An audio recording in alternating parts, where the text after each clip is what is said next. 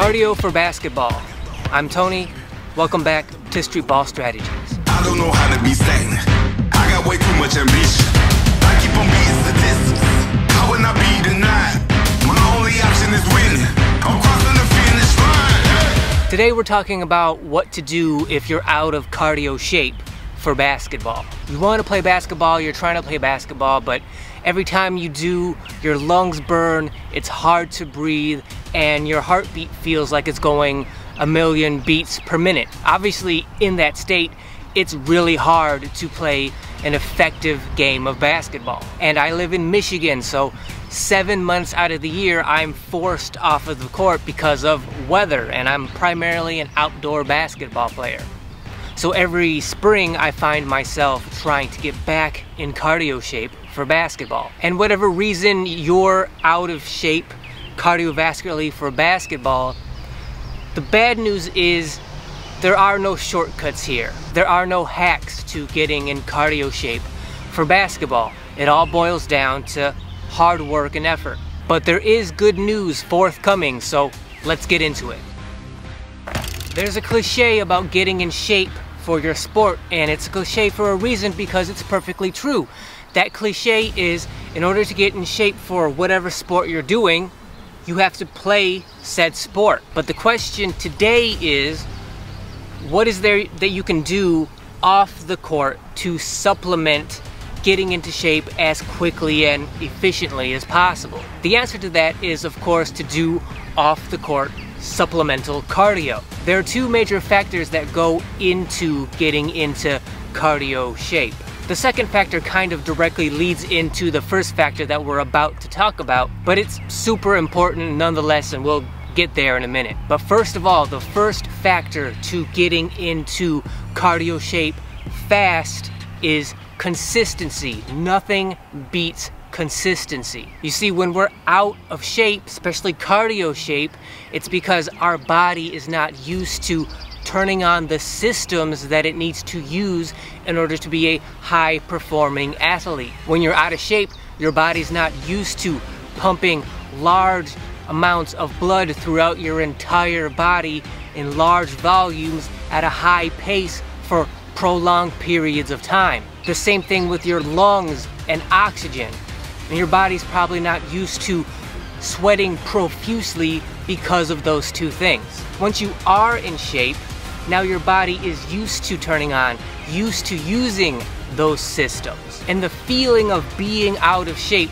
that difficulty doesn't come from your body actually using those systems, it comes from it trying to turn them on and then start using them when you're out of shape and thus your body is not used to turning on those major systems. It's very physically intense for your body to go from not using those systems barely at all, like in the off season, to then having to turn them back on again day after day and using them to the efficiency of what you're asking your body to do. So essentially, getting back into shape is a matter of teaching your brain to train your body to become a high performing athlete day after day. In order to do that, your body has to turn on those systems on a regular basis, day after day, going through that physically intense process.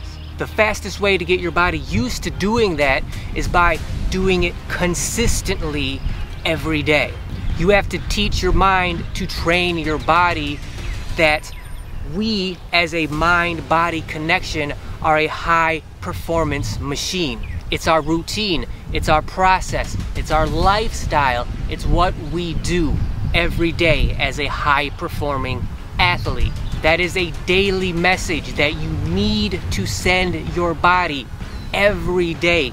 Build that consistency. The more you do that, the faster you get into shape. Now it's time for the good news. The good news is that when you're doing this, a lot of people think to themselves, I gotta get into shape. I wanna do it as fast as I can. That means like, for instance, I haven't done anything for X amount of months or weeks. tomorrow I'm gonna go on a five mile run and I'm gonna keep doing that until I'm in superb shape. The good news is you don't have to do that. You don't have to exercise, put in that kind of cardio for that long of a duration or that high of an intensity. It's not about the duration of time that you're putting in. You don't have to put in 45 minutes or an hour. It's not about the intensity. You don't have to be performing at 80 to 90% of your maximum capable output. So you don't have to destroy yourself, torture yourself to accelerate the process of getting into cardio shape. I would say in terms of duration, the bare minimum that you could get away with in terms of how much cardio you're gonna be doing is a 10 to 15 minute warm up and don't skip the warm up. Do not skip it, do not lessen it. Keep the warm up the same every day. Don't skip it. And then in terms of the actual cardio you're gonna do, whatever form it may be, it doesn't have to be running or anything like that. It can be swimming or hiking or, or, or rowing or whatever you want it to be, whatever form of cardio you're doing, do that for 15 to 20 minutes and then have a five, 10 minute cool down. That's the bare minimum I think you could get away with that's going to give you the most bang for your buck in terms of uh, accelerating the process of getting back into shape. Now you could do more volume for a longer duration. You're allowed to, you can. It may help you, but I think you don't have to do much more than what I just described in order to get the maximum uh, time and speed boost out of trying to get in shape as quick as possible. And in terms of intensity, you don't have to go absolutely as hard as you can. Remember, it's not about how hard or long you're doing this supplemental cardio. It's about turning on that system of high intensity effort that you're putting your body through. Teaching your body, getting your body used to the process of just turning those systems on. Those systems don't have to run for a long period of time at a high intensity. They just have to turn on, run for a while at a moderate intensity, and then they can be turned off again until the next day. So if it's running you're doing, okay, do the 10 to 15 minute warm up, do the 15 to 20 minutes of actual cardio, and while you're doing that cardio, you should put in as much effort as you can, but that effort is all about pace. You want to keep the same pace for that entire 15 to 20 minutes, meaning you don't want to have to slow down and walk. You don't want to have to stop and take a break. You're going as fast and as hard as you can, but the whole idea is to maintain that pace the entire time. So even if that pace feels slow to you, that's fine. What you want to focus on is maintaining it. That pace will increase, you will get faster the better shape you get into. But you're not going to get into that shape as quickly if you're constantly slowing down or taking breaks throughout that 15 or 20 minute window. You want to keep the same pace that entire time. That's the fastest way to get into shape. So that's the good news. You don't have to go super long, you don't have to go super hard, but you do have to be consistent. The second main component of getting into cardio shape quickly is enjoyment. Now, in order to be consistent, you're gonna have to enjoy the cardio that you're doing. If you don't enjoy it, you're not going to do it and you're not going to repeat it. So it doesn't matter what kind of cardio you're doing, as long as you continue to do some form of it on a daily basis. You don't have to do the same thing over and over again. You do whatever you need to do as long as what you're doing, you enjoy it. But also, you don't only have to enjoy it. Ideally, you would also get a feeling of accomplishment and satisfaction from doing it as well. I've talked about before about how I run every day as my form of cardio. But after I've done my run for the day, I have a feeling of accomplishment and satisfaction that I wouldn't have had had I not done the run because I know that I did something difficult that I didn't have to do, but I did it anyway, and I did it to the best of my ability for that 15 to 20 minute window, and I got it done, I accomplished it, and that resonates enough with me so that the next day I'll be able to do it again and have that same feeling. So ideally, you would enjoy it and have that sense of accomplishment and success, but you really only need one or the other. The main thing is that whatever you're doing, you do it so that you can repeat it on a daily basis and get something positive out of it every time. So if you want to increase your cardio for basketball as quickly as possible, the best thing you can do is find supplemental off the court forms of cardio that you genuinely enjoy doing and then allow that enjoyment to fuel you and motivate you to repeat that cardio on a daily basis to build up that consistency.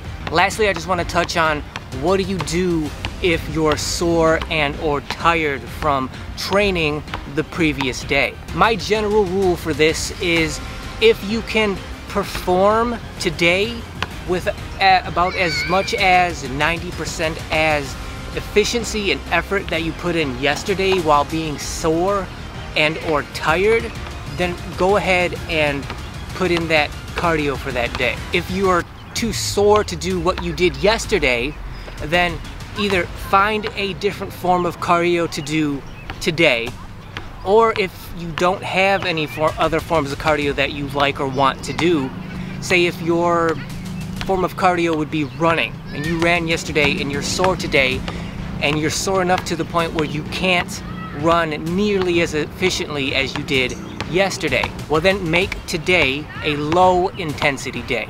So instead of running because you can't because you're too sore, walk instead. But the key with low intensity days when you're doing something that's cardio based but at a lower intensity is you want to do it for long enough so that you really build up a sweat from doing it. So at least you're engaging that system for that day. Still do that low intensity thing as well as you can. So if you're walking, walk as fast as you can.